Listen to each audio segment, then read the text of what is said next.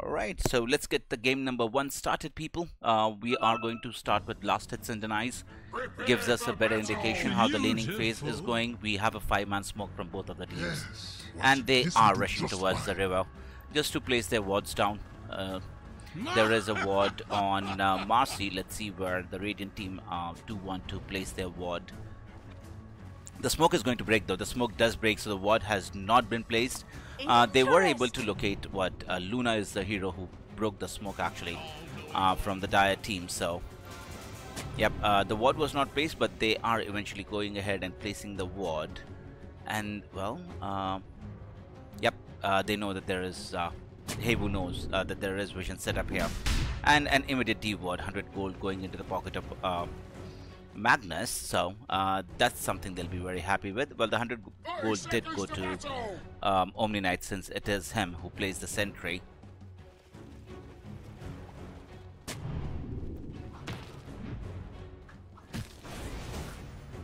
Right on, so similar thing which has been done by the Radiant team as well and 100 gold goes into the pocket of Marci. So an equal trade at the starting. Let's see who exactly is able to get this rune because I think if there is any fight it is going to happen uh, near this rune. Enchantress is lurking around in the area.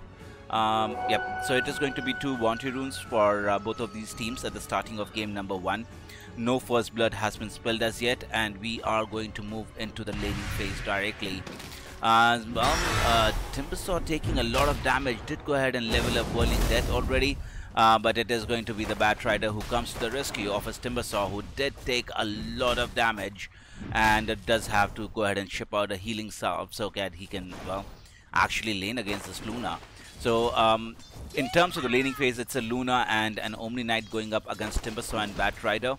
Uh, I think Luna is going to have a pretty free farm here and uh, there is um, the, the damage which would be outputted by uh, Batrider uh, is going to be nullified by Omni Knight altogether because he does have uh, the spell uh, which uh, comes with Ripple and Luna is taking a lot of damage. In fact, Luna is going to go down for sure. Batrider is already on the case. One more hit required and first blood goes into the hands of uh, Batrider. There is a lot of harassment which is coming out uh, on the Omni Knight as well and they start off with two kills in the top area of the map wherein Timbersaw was already low on HP uh, but with the experience and gold he he would have got in that engagement he would be very happy with.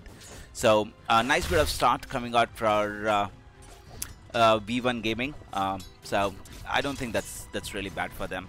Right in the mid lane we are going to look at an invoker going up against earth spirit in terms of the last hits as we're seeing it's pretty much even at the moment so these two should have a pretty decent time uh, in terms of uh, the trade going on uh, for the last hits. And in the bottom area of the map, we are going to look at a Shadow Fiend plus a Marci going up against Enchantress and Magnus. Um, Shadow Fiend should have a pretty nice time in this laning phase. There is not much they would be able to do against Shadow Fiend, uh, against Shadow Fiend because once he has a couple of more levels, his damage output is going to drastically increase um, when it comes to the lane altogether. Now there is a dispose which would be attempted, a couple of razes which would be coming out and they should be able to get a kill onto the Enchantress and there is absolutely nothing saving. So as we were talking about the lane, uh, aggressive moves being made uh, by V1 at the moment and they are definitely on a high at the moment. Yesterday they did end up getting a, a win over Passion UA which was the first win for them in this tournament and um, well moving into this game number one things look pretty decent for them in the start itself Eventually, I think Luna should go ahead and um, outcarry uh, the Shadow Fiend, but uh, in case if Shadow Fiend is able to get to a good start and uh, build up a decent enough advantage, I think, yeah, Shadow Fiend himself would be doing a lot of damage when it comes to team fights. Now, uh, there is a lot of aggression against Shadow Fiend and a lot of trouble, and they are going to get another two kills in the bottom area of the map. And both the kills, well, one goes for the Shadow Fiend, one into the hands of Marci and things looking real bad for HAVU in the start of this game number one when we're already looking at just the three minute mark and five deaths already on their heroes so it is only the Earth Spirit which has not gone down as yet but the rest of the heroes have already taken a tumble uh, for the side of HAVU.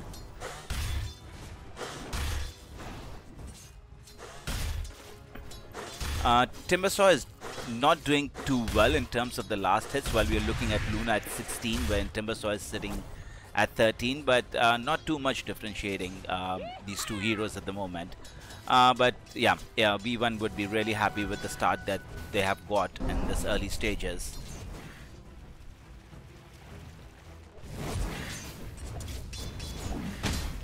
Right, surprising enough, there have been no denies on the Shadow Fiend. He has what 23 last hits, uh, but no denies for himself. He's already does already have a level advantage over both of the heroes. In fact, is double the uh, levels uh, against the Enchantress level 4 on Shadow Fiend, level 2 on Enchantress. Uh, that's not good signs uh, for HAVU uh, if you're looking at this bottom area of the map. There would be a nice pull which would be coming out from Marci, uh, but well, the question is, are they able to?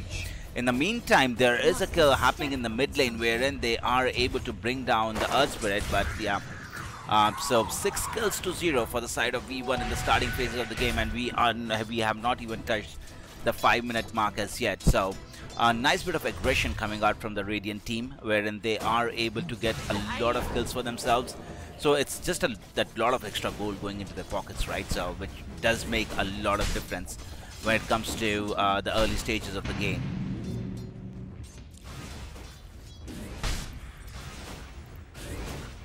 Right, he he has what 21 stacks of Necromastery, so that's additional 21 damage.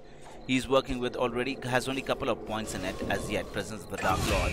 Uh, in the meantime, it is Luna who does go down the top area of the map, and uh, it is going to be well.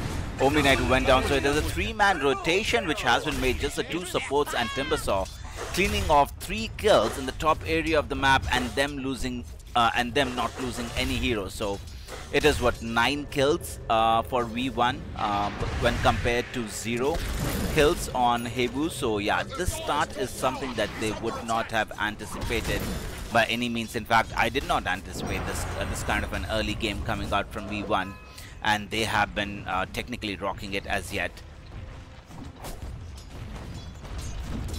Right, so uh, in terms of the farm, it's, um, well, let's go ahead and change to net worth since we are already at the 6 minute mark now. And we are going to see another move being made on the Spirit who is not being allowed to get his level 6 and is surrounded by three heroes from the side of V1 and now it is the Omni Knight who is in a lot of trouble. The Firefly is still running for uh, the Batrider and they should be able to get this kill and I don't think there is anything which is going to make this Omni Knight survive this attempt coming out from V1. So things going from bad to worse for the side of HAVU. and in case if the things continue this uh, this way uh, I think this game might actually end in the, what the 20-25 minute mark. So uh, they really will have to pull up their socks on the side of HAVU, come up with a better strategy because all across the map their heroes are suffering. Uh, well, as we are looking at it, uh, no, I'm not going to play Dota at the moment. Um, but thanks for the invite.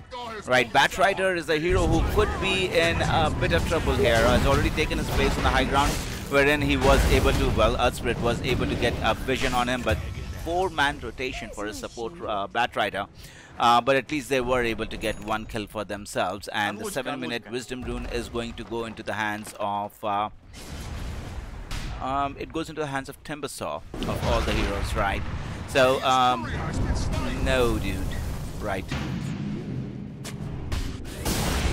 Now it's going to be the Earth Spirit who is going to be in a lot of trouble. One more hit required from the Shadow Fiend, but they don't have enough gas in the tank. Well, a nice bit of, uh, nice, uh, well, Tornado coming out from Invoker, catching on, but the Earth Spirit is still surviving. They have already lost their Omni Knight, uh, but it is going to be Enchantress whom they lose, and the Earth Spirit eventually goes down to the Batrider and in the bottom area of the map. Let's see if they want to give a chase onto this Magnus who is still level 5 mind you.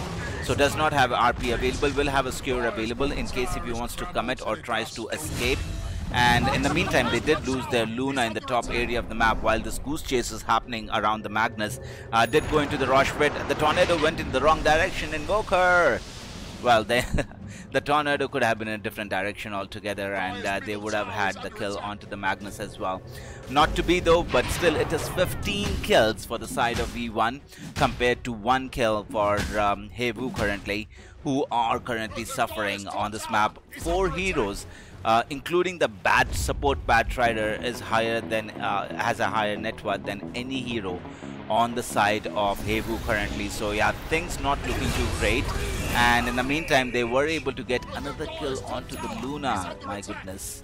Uh, yeah, this is just a farm fest. Um, uh, for the side of uh, V1 now the Rolling Boulder did not connect a level 6 onto the bat rider currently is working with uh, well he's, he's just chasing after three heroes how is it making sense this is not logical people and uh, just the aggression coming out from V1 at the moment is just too much for the side of uh, to handle and I would not be surprised if they just call it GG near the 12 minute mark by the looks of it 18, uh, 18 kills uh, for the side of V1 when compared to just one on the side of HAVU, which is which was the Bat Rider who is already higher than any other hero on the side of HAVU, uh, net worth on HAVU. So, um, I am not exactly sure if there is a road to recovery after this kind of a start in a game.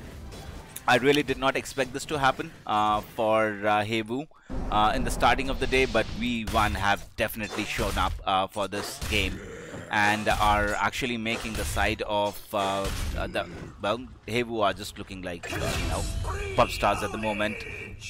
Right, so another kill onto the Enchantress kills happening all over the map and uh, the entire Radiant side of the map is empty.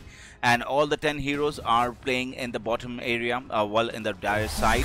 And there is just no respite right? There is level 6 on the earth spirit but he does not have any friends to play with currently uh, and will have to back out from that engagement altogether. Uh, Magnus does have a level 7 so RP is available in case if they get the opportunity uh, but the question remains is he able to get an opportunity to get something done in this game number one wherein uh, the team just looks in shamble at the moment people? Uh, and they will have to come up with uh, a big team fight. Not exactly sure if they're going to get it um, because they're just so far behind on any of on all of the heroes. Invoker is uh, well is in the vision correctly. There would be an rp committed on the shadow fiend but uh, dude you don't have damage Requiem of Souls would be committed by shadow fiend and it is going to be the magnus who is going to fall first in the engagement uh, there is a nice tornado coming out from Invoker, catching out two heroes, and then Marci cleaning the house. Um, and uh, this is, uh, I'm just going to block this guy. Sorry, people. Uh, anyways, the GG has been called 10 minutes game, people. Yep, I was kind of expecting that to happen. Maybe I, I, I did say 12 minutes, uh, but uh, 23 to uh, 23 kill score come uh, to one. Uh, for uh, V1 and they finish out the game in 11 minutes. I think this is the fastest game I have ever casted. Uh, so yeah, things not technically going well um, for HAVU in this game number one and would be interesting to see what strategy are they able to come up with in game number two. So yeah, thank you so much for watching game number one people. Stay tuned in for game two. Hopefully it's not uh, a stomp like we have seen in game number one. Uh, but would be really interesting if HAVU are able to make a comeback in game number two.